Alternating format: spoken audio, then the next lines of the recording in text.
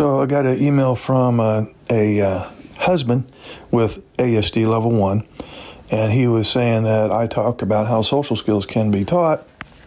And so his question is, well, uh, you know, exactly how does one go about learning social skills?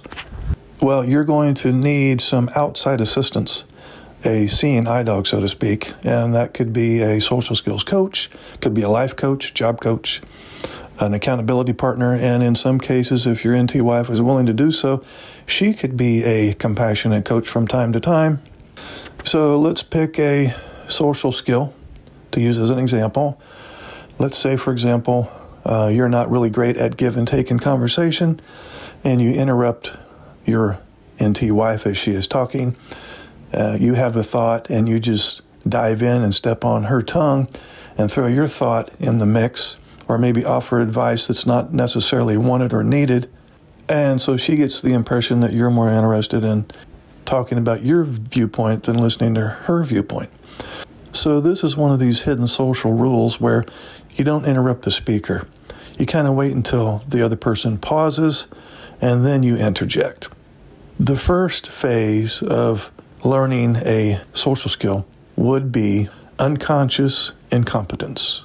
And so, to use the example of give and take in conversation, you interject or interrupt and you're not aware that you're doing it. You know, you don't know what you don't know. And so you violate this hidden social rule repeatedly and you're unaware. Now, let's say that the two of you have agreed that she's going to cue you in a very tactful manner to let you know when you interrupt, and you're okay with that. You're not going to download that as criticism.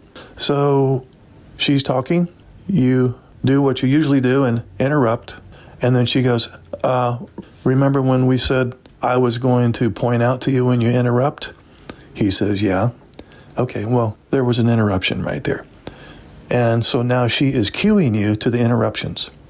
And now this is the second phase of learning a social skill, which is conscious incompetence.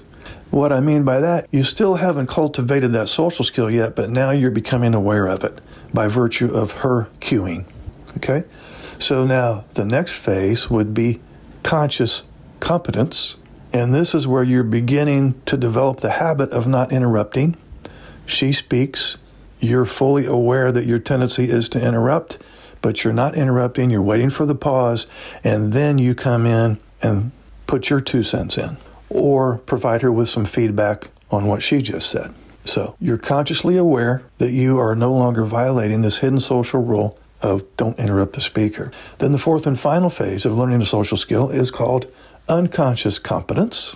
In this fourth and final phase, you have fully developed the new habit of give and take in conversation. You take some conversation from her, then you give some conversation back. You take some from her, you give some back. It's a ping pong effect now rather than you dominating the conversation or interrupting the flow. And you're not even aware that you are doing it right. It's become an unconscious habit now. It's running on autopilot. And so that is the fourth and final phase, which is unconscious competence. So we go from unconscious incompetence to conscious incompetence to conscious competence to unconscious competence. And we got there because you had, in this example, you got a cue from your NT wife that you were interrupting. You made a behavior change, and the reward is now you have developed a new social skill. And those are three important factors there we're going to talk about now cue, behavior change, and reward except we'll use it a different example here. I'm going to borrow one from one of my clients. He was accused of being a workaholic, and he admits that he was. And so he would work late at the office, and he would get home after the family had already eaten dinner. And so his wife was complaining that he wasn't spending enough time in the evenings with the family. And so what he did was he set up his own cue. In this case, he put a timer on the lights in his office, and at five o'clock, the lights shut off. And uh, he took three to five minutes to tie up any loose ends and wrap it up, and he left. So the lights shutting off right at five o'clock was the cue. The behavior change was he packed up and left and went home and spent time with his family and actually ate dinner with his family. And the so that was the behavior change. And then the reward was happy wife, happy life. In other words, she felt better about the relationship because she didn't feel like work was more important to him than she was. And the reward was less tension in the marriage. And it was a big reward according to him. So that was a long way around the bush to illustrate one way to learn social skills. But bear in mind, you will need some outside assistance. This is not something that you can necessarily do on your own.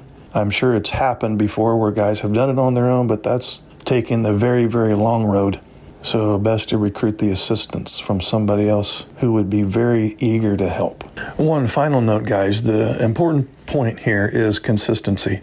Practice, practice, practice, practice, because you want to develop a new habit that runs on autopilot.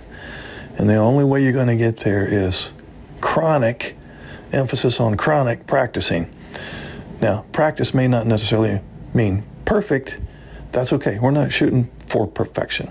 But practice will definitely make permanent. In other words, you may still interrupt the speaker from time to time.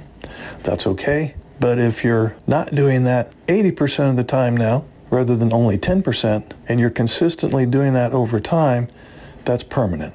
So we're not shooting for perfection, but practice does make permanent.